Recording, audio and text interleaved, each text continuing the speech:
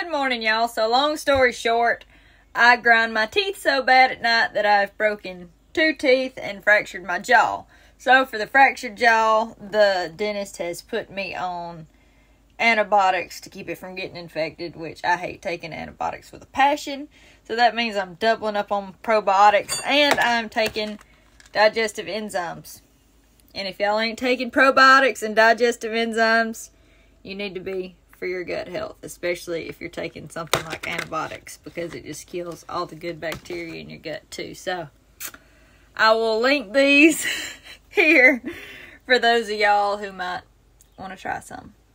Appreciate y'all.